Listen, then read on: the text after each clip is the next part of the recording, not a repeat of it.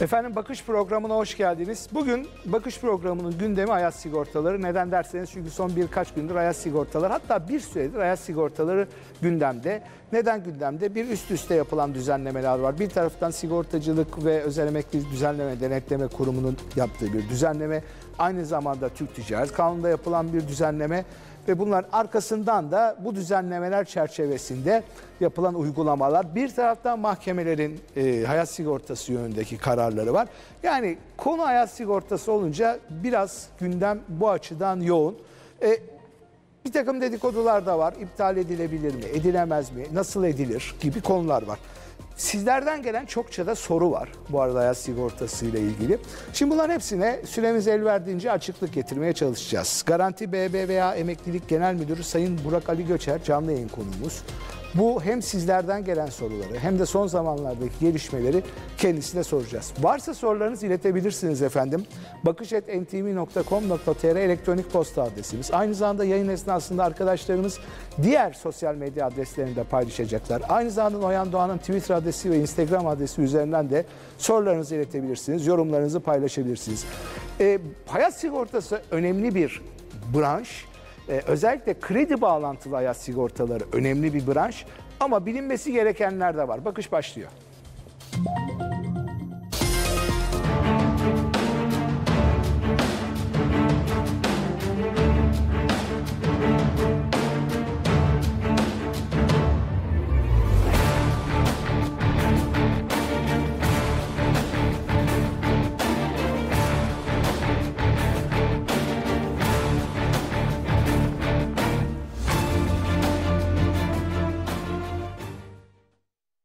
Evet, Garanti BBVA Emeklilik Genel Müdürü Sayın Burak Ali Göçer, canlı yayın konuğumuz efendim. Ee, Sayın Göçer hoş geldiniz. Hoş bulduk Bey. Şimdi e, süre kısıtlı soracak çok soru var. İzleyicilerden de çok soru var. Şimdi bir, birkaç birkaç cümle bize hap şeklinde e, son yapılan düzenlemelerle ne oldu onu bir izah edebilirsiniz. Evet, yani bir bir sınır çizildi onu anladık. Ama bu sınır ne oldu? Ne nesi çizildi ve bundan sonra ne olacağı bir iki cümle sonra soru soru cevap şeklinde gidelim. Tamam, tamam. Yani önce şunu söylemek e, lazım. E, tabii ben kendime de kızıyorum, sektöre de kızıyorum. Demek ki hayat sigortasını biz yeterince anlatmamışız, anlatamamışız. Onun için de biraz biraz bunlara vakit ayırmamız lazım. İnşallah bu programda da vaktimiz olur. Biraz hayat sigortası nedir, ne değildir Olur. de konuşmak isterim. Ama olur da zaman yetişemezse sizin geçen güzel bir yazınız çıktı. Dolayısıyla bu kredi kullanacaklara hayat sigortası rehberi diye onu da dinleyicilere, izleyicilere refer etmiş olayım. Ondan sonra soru cevapta biraz daha anlatmak isterim. Şimdi önce sondan başa gelelim. İşte hayat sigortası iptal edilir mi, nasıl edilir gibi bir tartışmayla maalesef hayat sigortası gündeme geldi. Hayat sigortasını iptal etmeyin. Hayat sigortası eee, sonuçta bu bir sigorta olabilecek bütün risklere karşı sizi korur. Eee, hayat sigortası da onun alt kırılımıdır. Dolayısıyla önce şunu söyleyeyim hani ismi hayat sigortası sanki vefata karşı koruyor gibi gelir size ama eee, aslında kaza, maluliyet gibi veya çalışamama durumu gibi her şeye karşı sizi korur. Eee, kredi hayat neden daha çok krediyle pazarlanır? Çünkü eğer krediniz vefatınız veya çalışamaz durumunuza geldiğiniz için ödenemez hale gelirse o zaman bu sigorta devreye girer, krediyi kapatır. Eğer kredi tutarınız teminatın altındaysa da kalan kısmı da varislere verir. Tekrar daha detaylarına gireriz ama şimdi geliyor konu nasıl iptal ederiz konusuna. Dediğim gibi bence hiçbir şekilde iptal etmenize gerek yok. Ucuzdur, bin tane avantajı vardır onları da tekrar sayacağım ama eee, normalde siz bankaya gittiğinizde, banka kredi kullanmak için gittiğinizde banka size bir krediyi anlatır, bir de hayat sigortasını yanında anlatır. Banka niye hayat sigortası Niye? satmaya Hayır, çalışır? niye? Çünkü banka açısından bu teminatlı bir krediye girer. Ama zaten konutsa, araçsa buna ipotek var. İşletme ise hakeza yine aynı şekilde teminat mektubu var. Artık daha öbürsüne ne gerek var? Doğru. Şimdi banka hiçbir zaman teminata kredi vermez. Banka sizin ödeme gücünüze para verir. Teminat en son yani o konutunuzu satma işi falan onlara hiçbir zaman banka niye girmek istesin? Hem müşterisini düşündüğü için girmek istemez hem kendi bakış açısıyla girmek istemez. Onun için ödeme gücüdür. Yani kredi akışı şöyle olur. Önce ben sizden paranızı isterim. Siz vefat ettiyseniz veya malul durumdaysanız, ödemez durumdaysanız o zaman kimden alabilirim diye bakarım. Vefat ettiyseniz dolayısıyla yakınlarınıza giderim. Yakınlarınızdan bu parayı isterim. Yakınlarınız ya bu parayı ödeyecek ya reddi miras yapacak. Reddi miras yaparsa zaten bütün mirastan olur. Dolayısıyla da ben yakınlarınızla yani siz vefat ettikten sonra neden banka yakınlarınızdan böyle bir para istiyor olsun? Orada sigorta anında devreye girer ve bu krediyi öder. Şöyle bir yaklaşım yoktur. Onun da altını çizmiş olayım. Hani sigorta şirketi bunu ödemek istemez. Banka takip etmez. Bu böyle bir şey yok. Banka sigorta şirketinden bu parayı almayı tercih eder. Çünkü çok hızlı ödenir bu iş.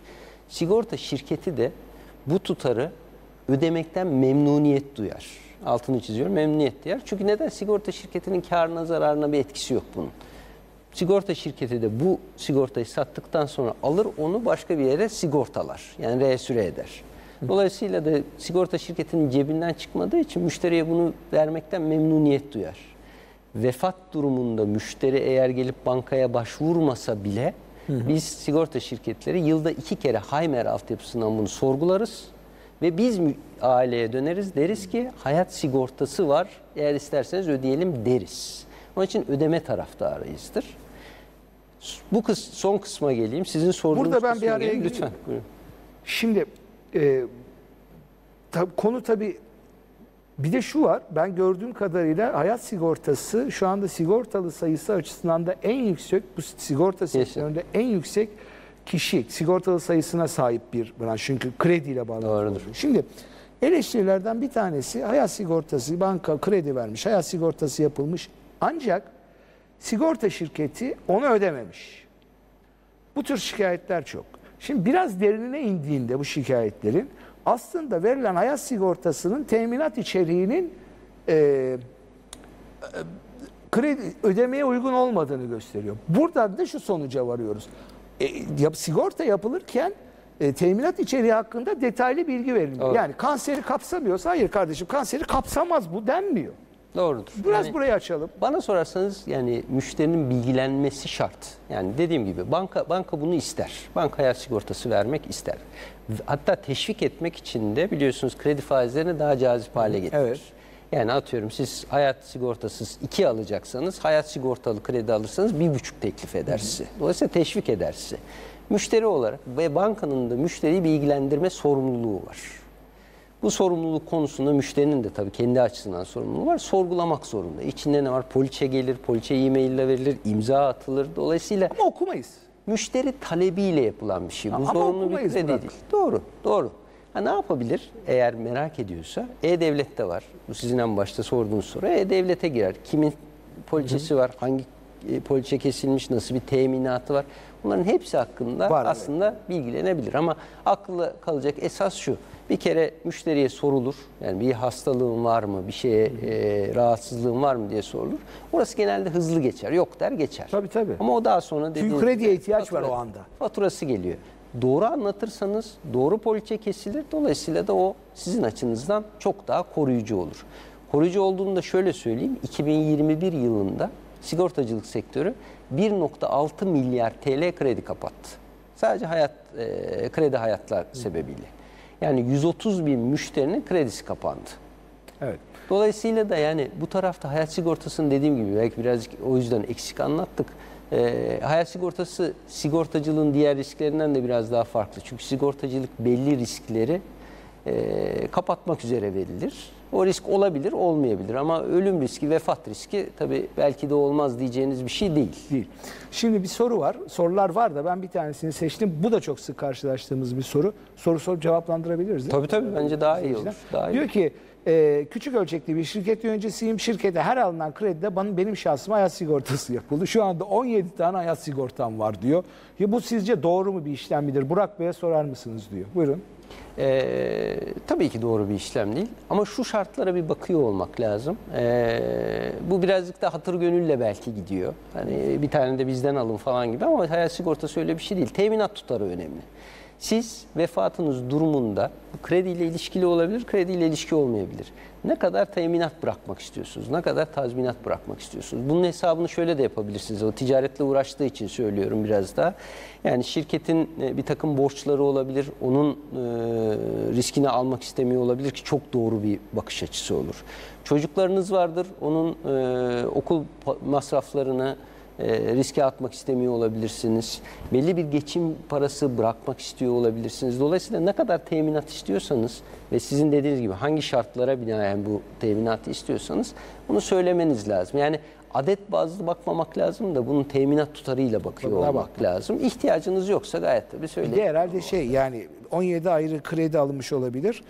E, yani bir, bir tanesinden siz ve Allah göstermesin vefat ettiğinizde bir tanesinin kredisi kapanacak. Diğerleri ne olacak anlamında da buradan yürütebiliriz. Bu da güzel bir soru. Bir başka izleyici şunu sormuş. Bunlar aslında bizim soracak sorularımız. Çok güzel izleyici soruyor. Krediyi erken kapatırsam hayat sigortası otomatik iptal edilir mi? Herhangi bir işlem yapılır mı? Geri bana bir ödeme yapılır mı? Tamam bravo bu da güzel bir Evet. soru. Eğer krediniz kapanırsa zaten bir tek bence o şartlarda hayat e, sigortası iptal edilmeli ki onu da devam ettirebilirsiniz. Hayat sigortası otomatik değil ama bankanızla konuşarak iptal ettirebilirsiniz. Bu sizin en baştaki sorunuza da buradan cevap vereyim. Mesela işte e, şeyler şimdi E-Devlet'e girdiğinizde poliçenizle ilgili birçok bilgi alabilirsiniz. Ama en son çıkan yanlış bilgiler ne? Diyor ki E-Devlet'ten başvurun iptal olsun, SDDK'ya yazın iptal olsun falan gibi böyle bir Var mı böyle bir şey? yanlış bilgilendim. Bu doğru değil. Bu neden doğru değil? Size hayat sigortasını kim kestiyse gidip onunla konuşmanız lazım. Yani bankacınızla. Yani aynısını şu örnekten vereyim. Siz şimdi kredinizi kapatmak için BDDK'ya mı yazıyorsunuz? Hayır. Gidiyorsunuz banka şubesine. Diyorsunuz ki ben kredi vermiştim. Kredimi kapat. Hayat sigortası vermiştin. Hayat sigortamı kapat. Hayat sigortamı başka şartlarla yeni bir poliçeyle değiştir. Bunların hepsindeki muhatabınız şube. Ha şubeyle bir ihtilafınız olur. O zaman tabii ki bir üst kurula gidersiniz. Dersiniz ki ya ben böyle böyle bir anlaşmazlık yaşıyorum. O zaman onlar devreye girer. Ama muhatabınız her zaman size kim sattıysa o olması lazım. Doğrusu da o. Peki. Yine bir soru ve buradan diğer sorulara geçmiş oluyoruz. Hayat e, çok yüksek bir prim çıkardılar. 240 bin TL kredi kullandım. 10 yıl içinde 24 bin TL bir prim çıkardılar. E, bu güncel, güncel değerlere çekilebilir mi? Şimdi bu soruya çok yüksek prim. Bu soruya ben şunu ekleyeyim. E, ben o bankadan sigorta yaptırmayabilir miyim?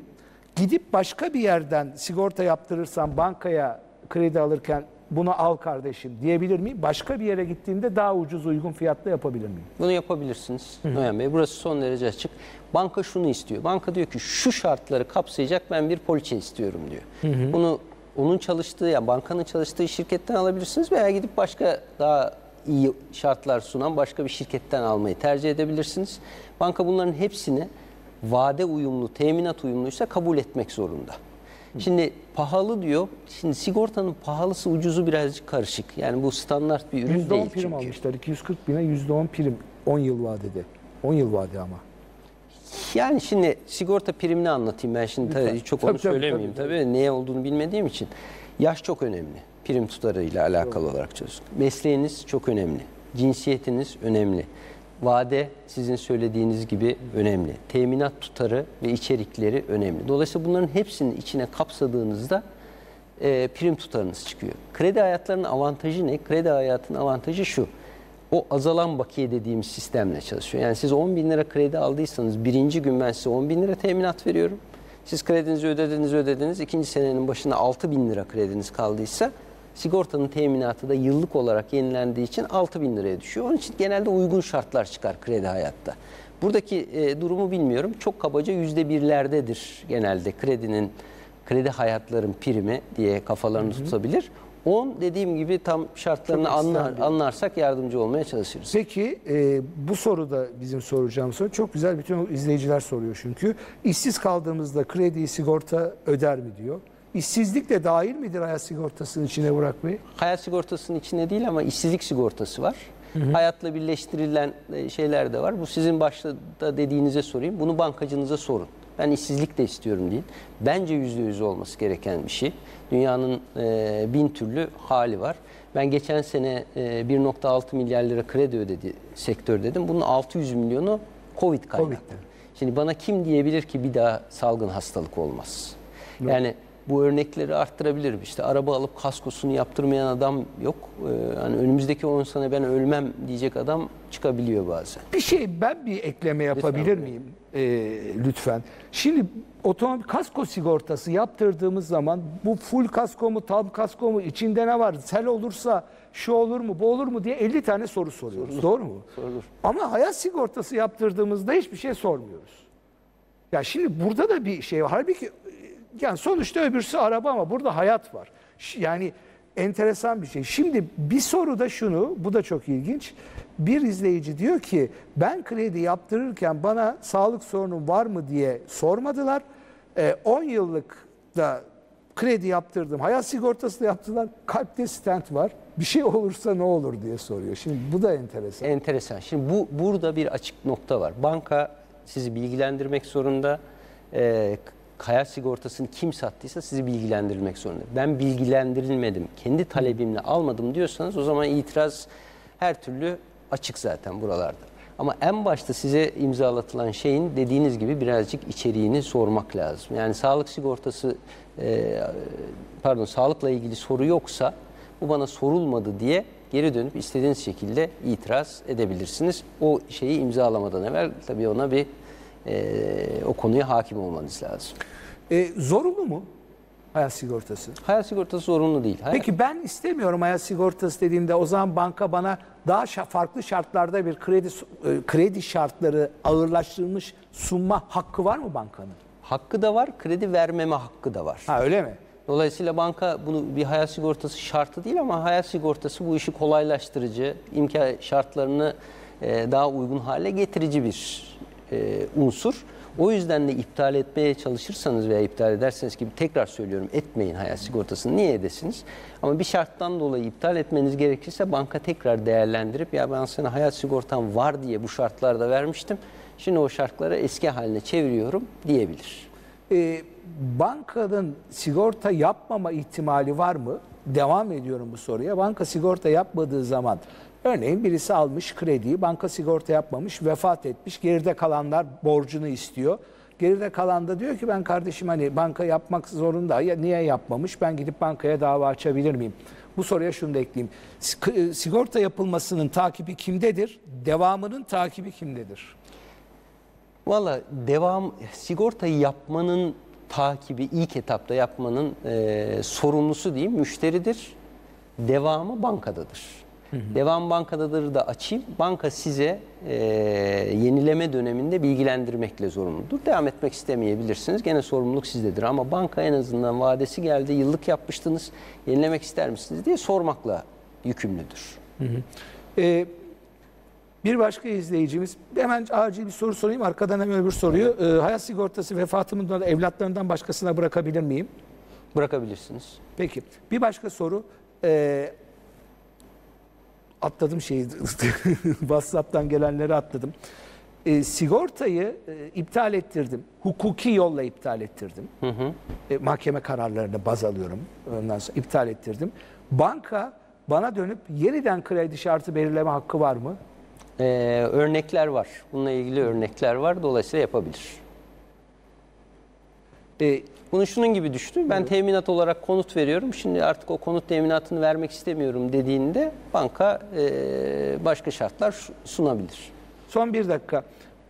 Neden bankadan kredi alırsan hayat sigortası yaptırmak zorunda değilim, ihtiyacındayım? Son bir dakikada Ama biraz bu, bu, bu çok net. Hakikaten bu çok insani bir şey. Çünkü çok siz bir şeyler yaşıyorsunuz şirkette. çok Müşterilerle şeyler şey. yaşıyorsunuz. Yani e, inanın bu bazı şeyler e, örnekle daha iyi anlatılıyor.